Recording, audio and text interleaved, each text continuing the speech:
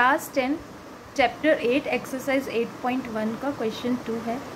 Question है in figure eight point one three हमें figure दी हुई है tan P minus cot R हमें निकालना है। तो सबसे पहला काम हमारा, मैंने आपको प्रीवियस वीडियोस में भी बताया है, हमें दो साइड दी हुई हैं तो सबसे पहला काम है हमें थर्ड साइड निकालना। ठीक है नाइन्टी डिग्री के सामने वाली एच है। जब आप पाइथागोरस लगाओगे तो किसी पे, किसी को भी पी और बी मान लेना इफ़ेक्ट नहीं पड़ेगा, क्योंकि ये एक ही साइड में स्क्वायर में आनी है। ठीक है तो हम बात करते हैं अपना in triangle P Q R P Q R में मैंने क्या यूज़ की? By using Pythagoras theorem by using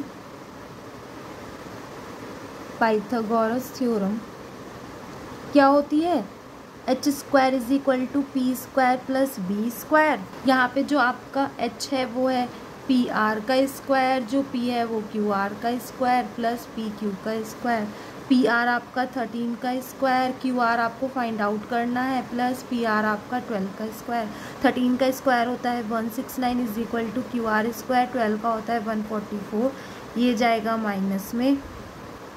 Q R का स्क्वायर क्यू आर का स्क्वायर आया नाइन में से फोर गया five six twenty five Q R आया आपका स्क्वायर रूट ट्वेंटी फाइव क्योंकि स्क्वायर उधर जाकर बनता है स्क्वायर रूट क्यू आर आया आपका फाइव ठीक है क्यू आर आ गया। अब देखो, अब हम पहले टेन पी निकालेंगे, फिर कॉट आर निकालेंगे, फिर हम tan P minus cot R की वैल्यू निकालेंगे।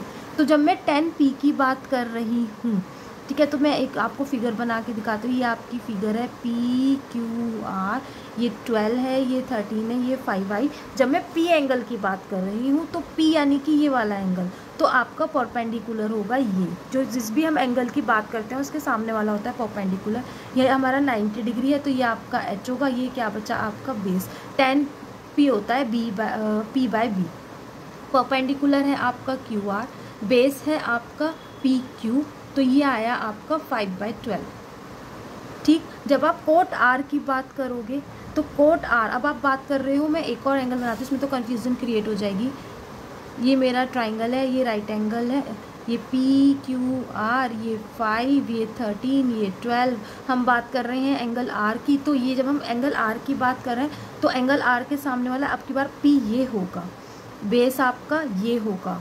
और एच ये आपका है ही। कोट होता है टेन का अपोजिट यानी कि अगर टेन पी बाय बी है तो कोट आर होगा आपका बी बाय पी ठीक है? बेस है आपका क्यू आर और परपेंडिकुलर है आपका पी क्यू क्यू आर है आपका फाइव पी क्यू है आपका ट्वेल्व ये तो सेम ही है है ना? क्योंकि हमारा एंगल बदल गया।